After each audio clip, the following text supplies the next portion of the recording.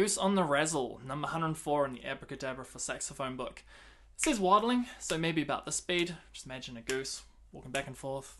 Okay, so it's not too fast. Now, what makes this piece interesting is we have the introduction of triplets. So I'm just going to play the piece first and then explain what on earth is going on.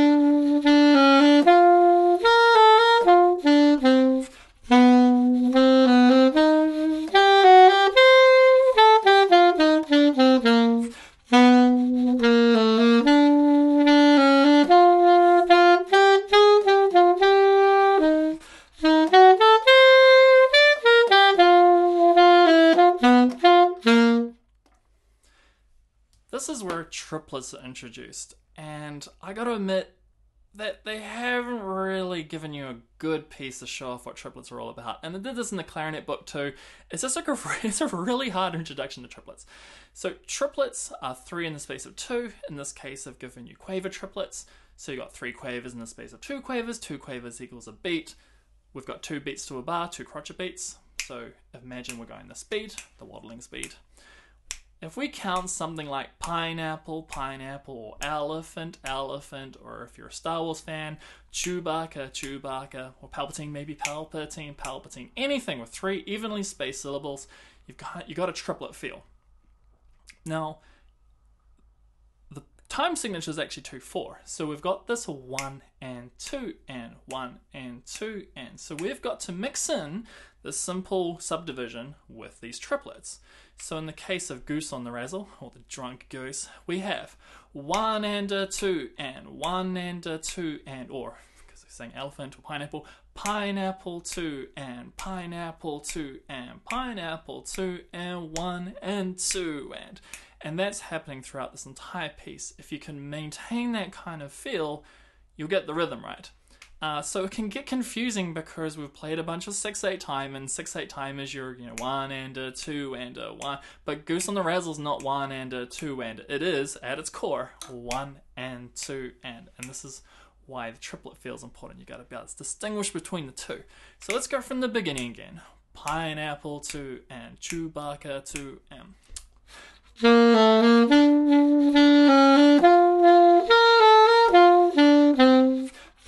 Okay, so I can hear me pulsing out that crotchet to get those two quavers going, so you can hear it. Ba da da da, do da da da.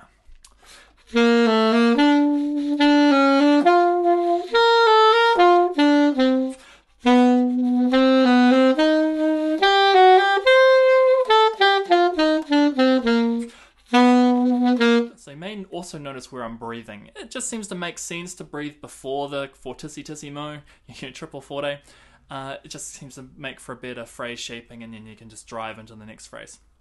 Okay, and at the end of that line, we had the two triplets. So Chewbacca, Chewbacca, or one and a two and a one and two and.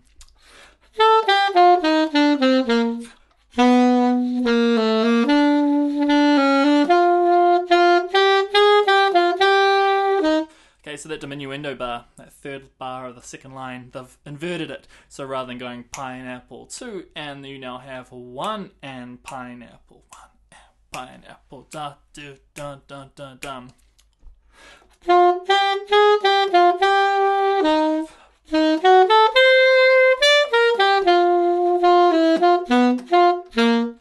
So of course, there's you know some tricky notes you might have to figure out. Don't forget that F sharp and the crescendo bar.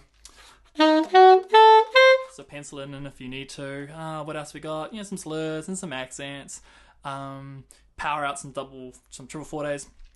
But remember, remember, don't don't treat your double triple fortes like a brick. They do have an accent, so you want to hit them and fall away. You don't want to death metal to the listener or anything. You want this accent. You don't want to just be rah, the entire piece. Always want to back away when you've got those accents. You hit them hard, you fall away. And that is essentially Goose on the Razzle.